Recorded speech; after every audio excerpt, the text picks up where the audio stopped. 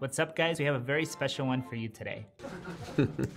no, not, not this special one. Today we are going to do an underwater shoot, and that's because we're going to recreate the opening shot of the series Altered Carbon.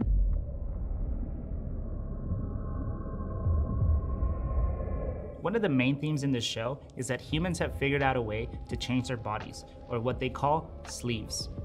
What I like about this shot is that it represents the idea of rebirth by having the protagonist floating in this liquid with a cord attached to him, in a very similar way to how we would have a baby in the womb with an umbilical cord.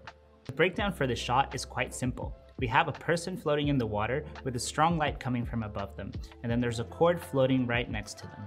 I have done a few underwater shoots before, and so I had somewhat of an idea of how I was going to approach this, but I knew that it was going to be difficult. Let us take a look at how it went. The location for this shot was a scuba diving training center where I had filmed before. I thought this location was good because we could achieve the depth that we needed to get the shot, as the lowest point of the pool is 6 meters from the surface. For the camera, we used the Sony a6500 with a Seafrog's water housing. I placed a weight on top of the housing to make it easier for the camera to sink. This is a technique that I have learned from previous shoots, and it's not perfect, but it works. Our key was a Forza 500 with a Fresnel attachment that we rigged to a Kupo stand with a boom arm.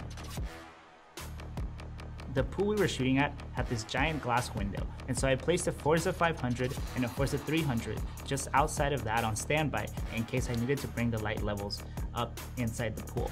But once I was in there, I realized that it was too bright, and so I cut those lights off.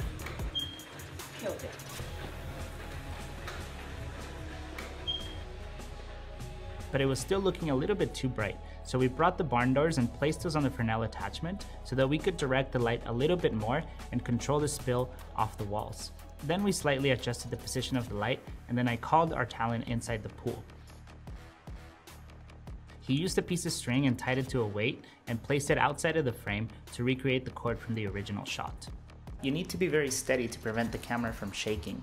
I feel I get the best results when I can find a surface for me to stand or sit on. And when that's not possible, I try to frame my shot first and then gently let myself float in the water. But this method can be a little bit challenging, especially when you're filming a subject that is above you, because the bubbles that come out of your regulator not only shake your camera, but also go up directly into the shot. So while trying to capture this shot, I held my breath a few times to avoid that. Shooting underwater is always challenging because communication is super difficult. Luckily, the large glass window that we had allowed our producer Lucia to quickly review the shots without me having to constantly go up and down. And if you scuba dive, you know how important this is because you have to go up really slowly to let your lungs adapt to the pressure. Anyways, Let's take a look at our final result.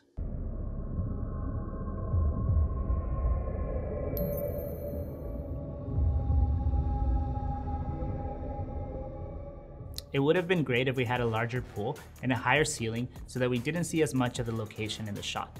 However, I still like the way that it turned out and the shafts of light in the water added a nice little touch. If you have any questions about what filming in the water is like, make sure to leave those down in the comments below. And here goes the mandatory subscribe to the channel, leave us a like, and once again, may the Forza be with you.